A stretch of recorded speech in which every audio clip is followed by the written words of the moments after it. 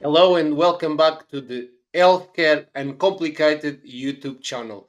Today I have another magnificent leader and guest for you. But before I go ahead, let me remind you to subscribe to the channel and also check all the previous content there. The reason that we bring leaders together is for you to also educate yourselves on amazing content. And today I have very special guest have Shwen Gwee. He's a digital health and corporate innovation executive and startup advisor. Xuan, how are you? I'm good, thanks. Thank you very much, Joao, for having me on your show. Congratulations on reaching episode 100. Oh, brilliant. Yeah, th- thank you so much for being in here and accepting the invite. We met recently, I mean, last year in Lisbon, but uh, I've been uh, we are connected for some time, and I really want to have you on the show. So thank you so much for the accepting the invitation and the the the compliment on episode 100. The two years just flew by for some reason. No, it's uh it's a pleasure to be here, and uh, it was even more wonderful to meet you in real life in Lisbon last year uh, after being locked down for two years and not seeing anybody. Right. I know it was a great feeling, and for me, as you know, is always very special going to Lisbon. Any excuse. And yesterday I was talking to another leader, and HIMSS Europe uh, 23 this year is in Lisbon. And he didn't know I was Portuguese, and he said, "Oh, you're gonna be at HIMSS Europe. We're gonna invite you to come." And I said, "Oh, uh, okay. Any reason to come to Lisbon?" any excuse. I like any it. excuse. Any excuse. Uh, Shwen, so today the topic is we we are here to talk about corporate innovation, where digital health meets pharma. But give me a little bit about your amazing background and the things that you've been doing for the last 20, 25 years, really. Sure. Thank you, Joao. Um, so I've been in the biopharma industry for the last 20 years or so, uh, spent the entire time in digital strategy and innovation.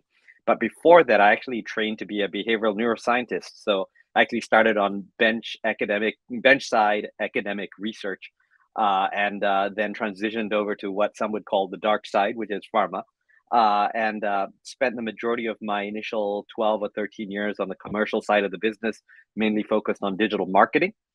And um, in, I sat in brand teams, in centers of excellence, and in corporate.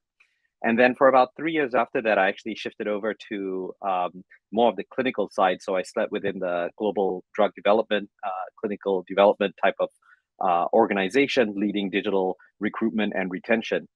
And so really got my experience of that, that clinical development side of the business.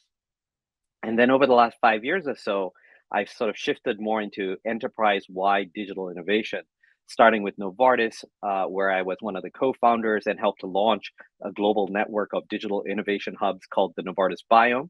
And then more recently, I was at Bristol Myers Squibb or BMS, where I was the uh, head of global digital strategy and basically worked with all the senior leaders across the different business units. So R&D, clinical, commercial, manufacturing, supply chain to help drive their innovation strategy.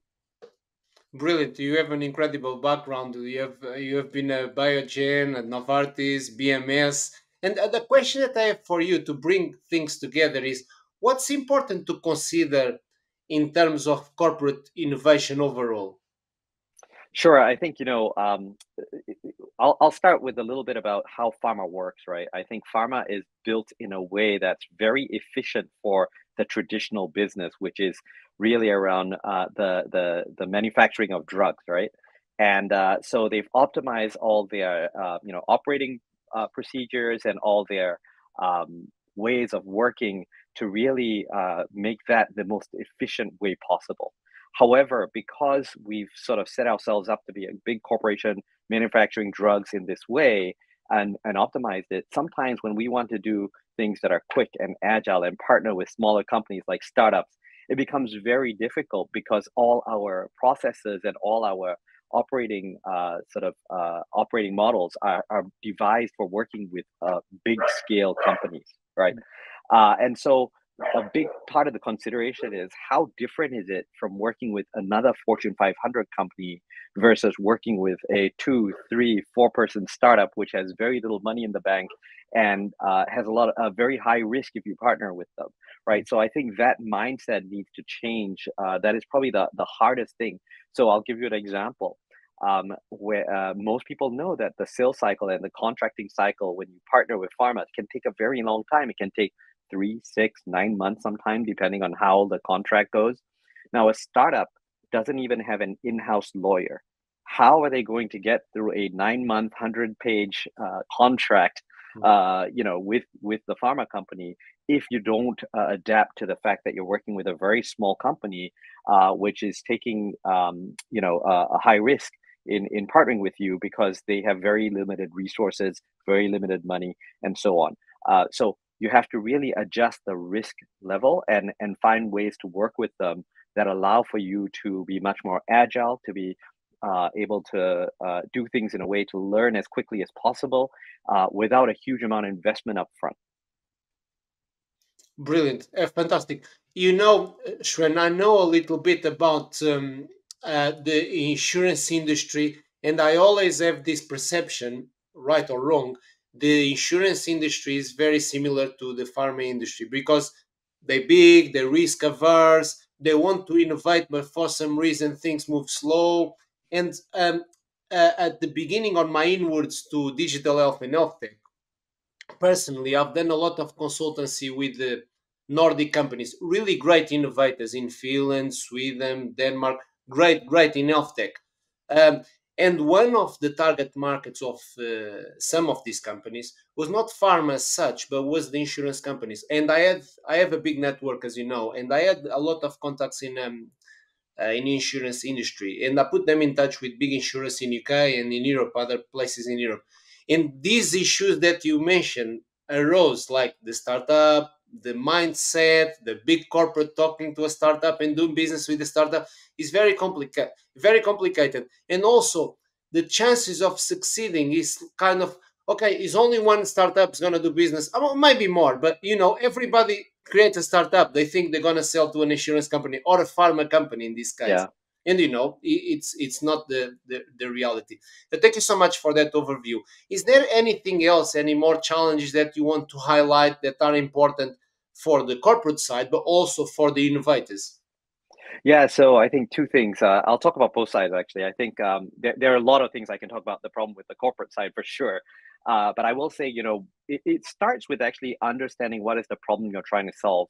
Because sometimes when we go out, um, what we're used to doing in pharma is creating an RFP, a request for proposal, right? And when you do that, you often already uh, stating exactly what you want. But if you're really trying to do something new and innovative, there's a lot of times a lot of unknowns. You don't know what the right answer is. So you really need to start with the right problem and you need to dig deep to understand what the problem is. Oftentimes, when we're in pharma, we, we just think we know the solution already. So when we RFP, it's really about building what we want, not exploring what the problem is to find what the right solution is. And so that's a big part of uh, the starting point that could be an issue. Uh, the second one is um, when we go out and look for partners. If, if, if you know, first of all, we we always like to build things, but we realize now there's a lot of startups that are already addressing a lot of the challenges that we have. So should we go out and find them? And when we go out and look for different partners, how do we understand who is the right partner? And also who are the people internally that are engaging with those partners? Uh, I've I've experienced uh, companies where you know there's seven, eight, nine different people or different teams talking to the same startup, and they didn't even know until the startup told them. Uh, right? Um, so that happens a lot because uh, companies are really big and people aren't connected in this space to know that everybody else is talking to them.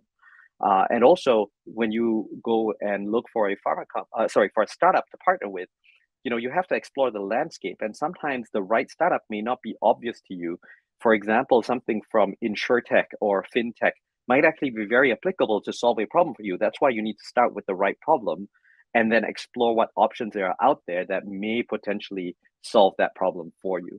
So I think there, there are a few of these things that in corporate we're not used to doing because we're traditionally focused on we know what we need, we go out and do an RFP, we bring them in, they're going to build it, and then we're going to implement it. So our process is much less agile, much less nimble. We don't make it very iterative, um, and so uh, a lot of those challenges are um, in, uh, inherently just part of the process of what we do when we partner with startups. Now, on the startup side, the big challenge, I think, is the experience working with pharma. As you know, pharma is highly regulated, has a lot of rules and regulations and process. And if you don't understand how that world works, then you might not be able to understand how to apply your product, your solution to their needs. And so, um, in fact, I'm actually an advisor to a uh, pharma focus accelerator based out of Boston called PharmStars. And our goal is to really help these startups understand what happens inside pharma. How does it work? Who are the people you need to talk to? How do you how do you create value for your product for pharma, as well as uh, helping them refine their pitch and presentation towards more of a pharma audience. Some of these startups I've seen even pitching to me, they use their investor decks, but pharma is not an investor. At least not the traditional pharma. I mean, corporate ventures do exist, but uh, traditional pharma is looking for solutions for their their challenges that they have that have to do with the therapeutic area, with their business process, with their um, different operational functions. So, uh, you know, it, it's a very different mindset when you come in and partner with pharma than se- selling to an investor for raising funds. So, um, startups really need to think about what they uh, know, what they understand about that company, as well as their pipeline and their portfolio drugs and so on. Brilliant. Shwen, you really highlight some really important uh, nuances there around for the innovators to be prepared, but also to understand pharma and also to resolve some of these um, complexities. Is is there anything else? For example, what you mentioned at the very end is very powerful because usually, as a startup, you create a deck and that's it, use it everywhere. so it's not specifically sometimes targeted for. Uh, a specific case. Um, is any is any pitfalls that you want to highlight from your experience? Have you seen so much so far from both ends? You've seen the both realities, the startup and the corporate. Is anything common that you see happening apart from what you mentioned? Anything that you want to add on to conclude? Sure. I mean, uh, a lot of it I already mentioned, but I think, you know, at the end of the day, um, pharma lead, needs to learn how to be more nimble and partner with very um, uh, small, agile uh, companies and, and, and, and be able to uh, iterate and change quickly and be able to um, adjust to that type of uh, mindset, environment, and working style. And then um, startups need to do the opposite, right? Which is to understand how they fit into a very big matrixed organization with a lot of process and regulation. And so I think those are the things that really make it the most challenging is just the the way they think uh, and function, just inherent to the type of uh, stage they're at, type of business they run, um, are completely opposite in a sense. And so how do you become more um, nimble and adjust to partnering with the opposite kind of way of working? Brilliant, Shwen. Basically, they need to work in different directions, even the way you see it. Thank you so much. Shwen, we could talk for hours. I like to keep my episodes nice and short, not too short, but not too long, because these days uh, I don't believe people want to watch an hour video or a 45 minute either. So we come to the end of the, the interview. I really appreciate your time, your expertise these amazing highlights and the reality check, you know, very valuable for both ends of the spectrum. So I want to thank you for that. My pleasure. Thank you for having me, Joao. It was great to be here, and I'm looking forward to seeing you again, hopefully in Lisbon. Yeah, in Lisbon or at, uh, uh maybe in HIMSS Chicago. I'm planning my my traveling for 2023. I would like to fi- finish with an item. It's not really a question as such, but uh, I'm looking for a short answer. But uh, how can we make healthcare uncomplicated? Ooh, that's a really difficult question. I think, uh, you know, I think again, it comes back to what I saying all along with uh, Challenge with Pharma. It's understand what the real problem is that you're trying to solve. Don't just think about it at the face level. So, an example could be um, a pharma problem could be, oh, my doctors are not writing enough scripts. But that's not the doctor's problem. You have to ask yourself, why are they not writing enough scripts? And I, and then start digging deeper and deeper as what is the challenge that's actually stopping them from wanting to, uh, you know, prescribe more. Um, you, you really need to understand the core problem before you can actually uh, solve for it before you can actually start to understand what are the right solutions for it and so on. So I think that's basically my my my sort of don't complicate things by not looking deeper. Brilliant, Shwen. Thank you so much. Brilliant, uh, brilliant insights to to to round up. Thank thank thank you so much for being in here. Um, yeah, and I'm hopefully I'll see you soon in person. I'm going to round up now. Thank you very much, Joel. Thank you, Shwen. Uh, make sure you subscribe to the channel. Also, I'm going to put Shwen's uh, LinkedIn and socials in here. Connect with him. He's a true expert on the startup side, uh, trustful advisor, but also with a lot of experience in pharma. Make sure you connect with him, ask him questions, and I look forward to see you all next time.